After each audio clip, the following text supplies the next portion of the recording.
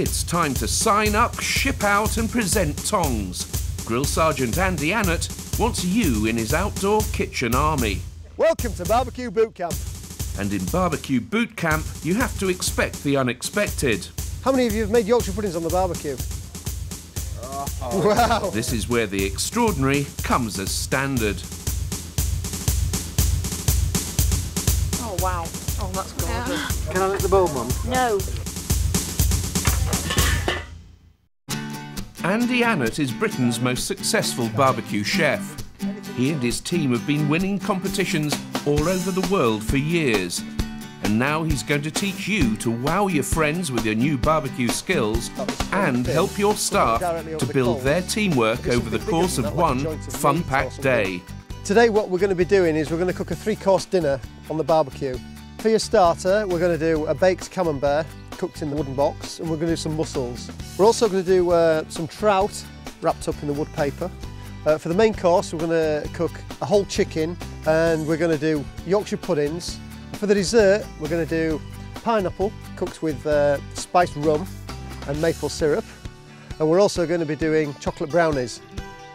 Okay, for this task, you need to work as a team because the winning team get a prize. We're going to be judging you on preparation skills and team building. You've got to work as a team. All right guys, the coals are hot. Let's get cooking.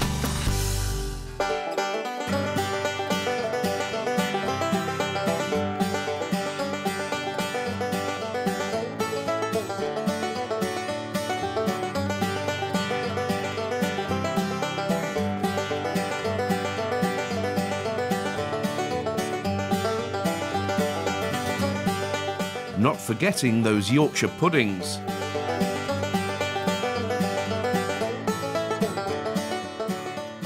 Do a little bit of barbecue at home, but I'm learning a lot more techniques and different ways and unusual barbecuing. And it's a fun day out as well without, you know, let's say going, you know, and making rafts and going into barrels and climbing across, you know, rivers and things.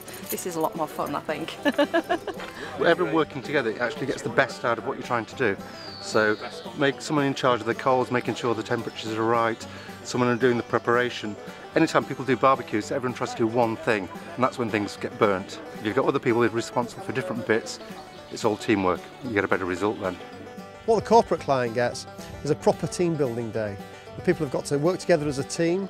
In the past, people might have had a barbecue at home and burnt things. After they've had a day with us at Barbecue Boot Camp, they go away as grill masters.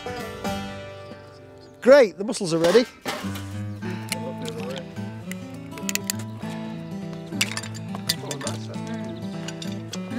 Very good.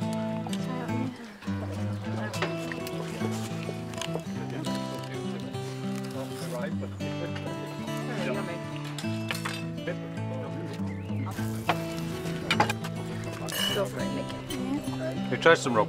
Yeah? Mm, very good. Them fellas are fantastic, aren't they? Amazing. It's time for the teams to relax and enjoy what they've worked so hard to achieve, whilst Andy continues with his judging.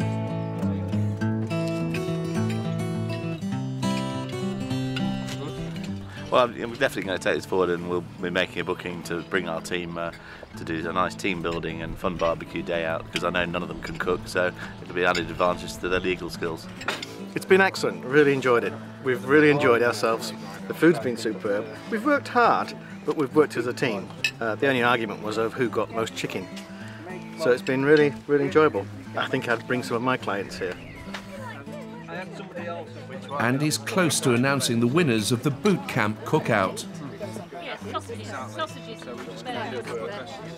Team captain, would you like to bring your team up? Andy's so impressed that he awards the winners his British Barbecue Champions trophy, on the strict understanding that they hand it back once they finish taking their photographs. All about teamwork and having fun, which is what you should do with the barbecue.